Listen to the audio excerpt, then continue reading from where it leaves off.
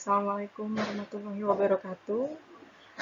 Perkenalkan, saya Septiani Azahra dari Institut Teknologi PLN. Kali ini akan memaparkan mengenai uji performa kompor induksi dan kompor gas terhadap pemakaian energi dan aspek ekonomisnya.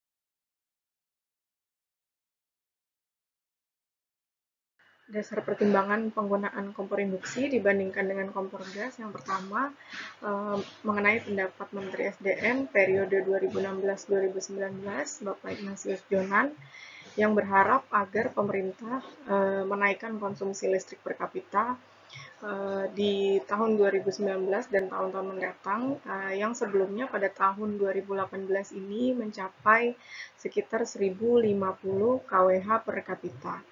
Nah, diharapkan untuk tahun-tahun ke depannya di tahun 2019, 2019 dapat ditingkatkan konsumsi listrik per kapita nasional menjadi 1.200 kWh dan terus meningkat di tahun-tahun berikutnya. Kemudian Kementerian SDM menghimbau kepada PT PLN Persero untuk mempromosikan penggunaan kompor induksi kepada pelanggan baru dan pelanggan yang ingin mengkonsumsi daya listrik yang lebih tinggi. Upaya pemerintah ini dalam mentransformasikan uh, penggunaan kompor gas dan kompor induksi bertujuan untuk menghemat biaya yang cukup signifikan karena biaya penggunaan kompor induksi diperkirakan akan uh, lebih lebih murah 50 sampai 60% dari uh, penggunaan kompor gas ini. Kemudian Bapak Joko Siswanto juga mengatakan bahwa strategi pemerintah pada kebijakan energi jangka panjang dalam ketahanan energi nasional e, menyebutkan akan mengurangi bahkan akan menghilangkan impor energi khususnya di energi minyak dan LPG. Kemudian perbandingan penggunaan kompor induksi perbandingan antara kompor gas dan kompor induksi sendiri, kompor induksi merupakan kompor yang e, menggunakan energi listrik sebagai sumber energi panasnya. Kompor ini memanfaatkan teknologi induksi elektromagnetik dan panas yang dihasilkan dapat disalurkan pada benda-benda yang bahannya terbuat dari bahan ferromagnetik. Nah, jadi nanti dalam penggunaan kompor induksi ini tidak bisa kita menggunakan peralatan-peralatan seperti panci atau pompa atau uh, teflon yang bahannya uh, tidak uh, tidak terbuat dari bahan ferromagnetik karena nanti uh, panas yang disalurkan dari kompor induksinya tidak akan tersalurkan ke benda-benda selain benda yang ber, uh, berbahan uh, ferromagnetik tersebut. Kemudian untuk kompor gas sendiri, kompor ini merupakan kompor eh, yang menggunakan liquid petroleum gas atau LPG sebagai bahan bakar yang digunakan. Nah, kompor gas eh, sendiri itu sudah sangat umum berada di masyarakat. Eh, pertama karena memang harga dari kompornya sendiri relatif terjangkau dibandingkan dengan kompor induksi. Kemudian untuk gasnya sendiri saat ini pemerintah masih memberikan subsidi kepada masyarakat sehingga eh, bahan bakar dari penggunaan kompor gas ini atau LPG ini eh, masih sangat terjangkau bagi masyarakat. Kemudian untuk metode penelitian yang kami lakukan, kami melakukan pengujian uh, antara kompor induksi dengan kompor gas. Yang pertama, kami melakukan uji performa untuk kompor induksi dengan spesifikasinya adalah jenis kompor induksi yang kami gunakan itu kompor induksi dua tungku Kemudian daya maksimum kompornya antar tungku yang satu dengan tungku yang lainnya berbeda. Untuk tungku yang pertama itu maksimum daya yang dapat digunakan besarnya sampai 1600 watt. Kemudian untuk tungku yang kedua itu maksimum dayanya bisa mencapai 1300 watt. Kemudian daya listrik rumah tangga ini daya listrik rumah tangga ini adalah daya listrik yang dipakai oleh uh, rum, rumah tangga yang kita gunakan dalam penelitian ini. Uh, itu daya listriknya adalah sebesar 1300 VA. Kemudian untuk tarif dasar listrik rumah tangga uh, yang kapasitas dayanya 1300 VA itu untuk rupiah per kWh-nya besarnya 1467,28 rupiah per kWh. Nah, daya maksimum yang digunakan pada kompor induksi ini kita menggunakan daya sebesar 1000 watt. Kenapa 1000 watt? Karena eh, daya listrik rumah tangganya tadi kita eh, pakai daya listrik rumah tangganya sebesar 1300 VA. Jadi kalau kita menggunakan uh, daya maksimum yang sebesar 1600 itu tidak akan sanggup untuk uh, menyuplai kompor induksinya tadi. Uh, dan untuk kenapa tidak memakai 1300 padahal daya listrik rumah tangganya sendiri tadi 1300 VA ini dikarenakan e, kita mempertimbangkan ada peralatan-peralatan listrik lainnya yang membutuhkan daya listrik sehingga tidak kita maksimalkan sampai ke 1300 watt. Maka kita gunakan daya maksimum untuk kompor induksinya sebesar 1000 watt. Nah untuk pengukuran yang dilakukan pada pengujian kompor induksi ini, kita mengukur kuat arusnya, kemudian mengukur tegangan, mengukur kospi, dan kita mengukur waktu yang diperlukan untuk memasak dengan menggunakan kompor induksi ini. Untuk yang kedua, kami melakukan pengujian terhadap performa kompor gas. Uh, untuk kompor gas yang dipakai, kami juga memakai kompor gas dua tungku agar sama pembandingnya. Kemudian masa tabung gas uh, sebelum digunakan itu uh, 5,5 kg. Jadi kita ukur dulu masa tabung gas sebelum digunakan karena nantinya kita akan mengukur berapa besarnya pemakaian gas dengan cara menimbang uh, untuk uh, tahu masa tabung gas yang telah digunakan setelah pemakaian setiap minggunya. Nah, untuk kandungan atau komposisi gasnya sendiri, uh, gas ini terdiri dari 30% propana dan 70% butana. Untuk harga gas LPG 3 kg yang disubsidi oleh pemerintah itu ber, uh, berkisar seharga Rp16.000 per 3 kilogramnya. Kemudian peneliti, uh, pengukuran apa yang kami lakukan pada uji performa kompor gas ini adalah mengukur uh, masa tabung gas sebelum dan sesudah pemakaian uh, setiap minggunya. Kami melakukan pengukuran uh, setiap minggunya sekali dan kita lakukan selama 4 minggu. Kemudian kita mengukur juga waktu pemakaian uh, kompor gasnya uh, tiap minggunya rata-rata waktunya berapa lama.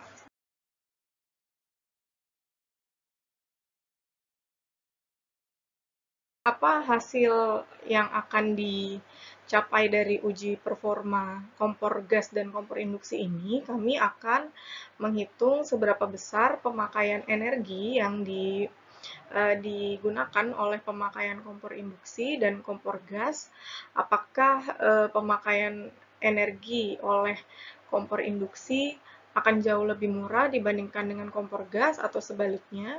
Dan kemudian dari e, hasil penggunaan energi atau pemakaian energi yang kita dapat dari penggunaan kompor gas dan kompor induksi tadi, maka kita akan tahu berapakah biaya yang e, digunakan dalam pemakaian kompor gas dan kompor induksi tersebut.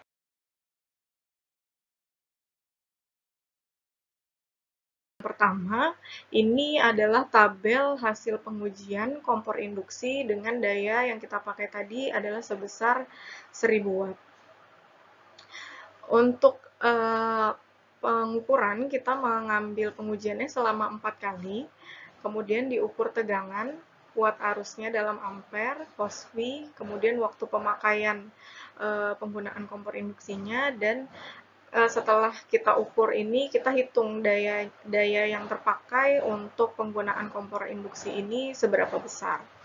Nah, setelah empat kali pengukuran, kita rata-ratakan per hari untuk tegangan yang digunakan dalam pemakaian kompor induksinya per harinya itu adalah 220,75 volt.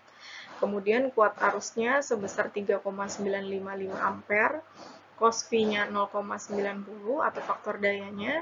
Kemudian waktu pemakaian rata-rata per harinya itu 7,5 menit dan daya e, pemakaian daya rata-rata per harinya itu adalah 785,76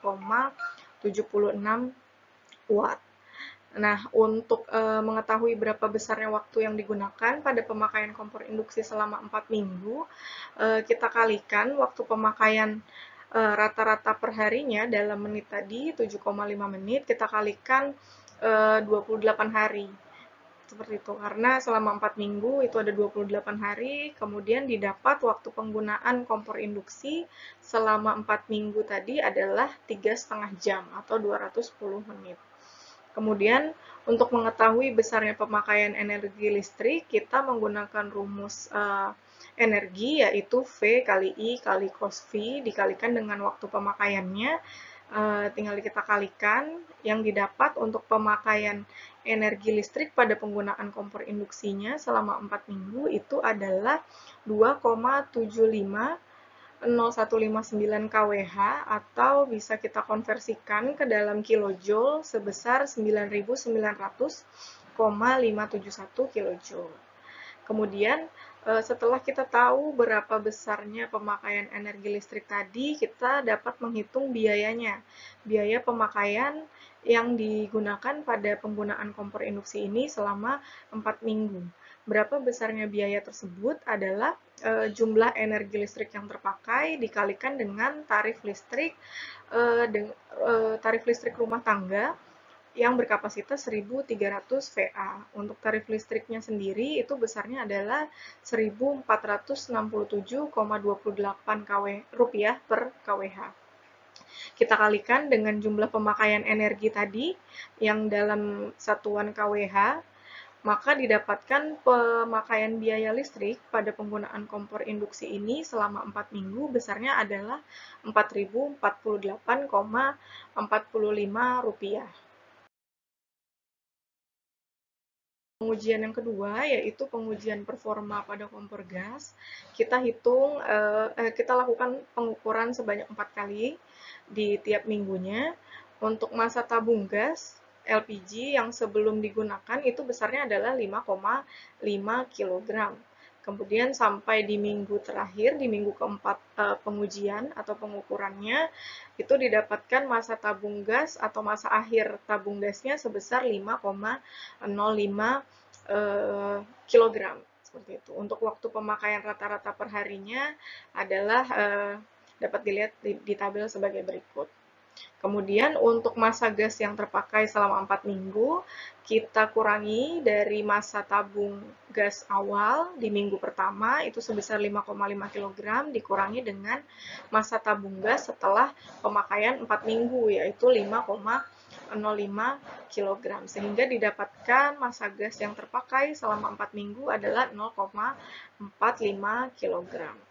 Nah, untuk menentukan berapa besarnya energi yang dipakai selama penggunaan kompor gas ini, kita harus menghitung dulu eh, berapakah masa dari propana dan butana. Karena eh, masa gas yang terpakai ini adalah masa total yang di dalam gasnya tersebut terdiri dari 30% eh, propana dan 70% eh, butana. Sehingga masa gas propananya adalah 30% dari masa gas yang terpakai 0,45 kg tadi dikalikan dengan 30% sehingga kita mengetahui berapa besarnya masa gas propana.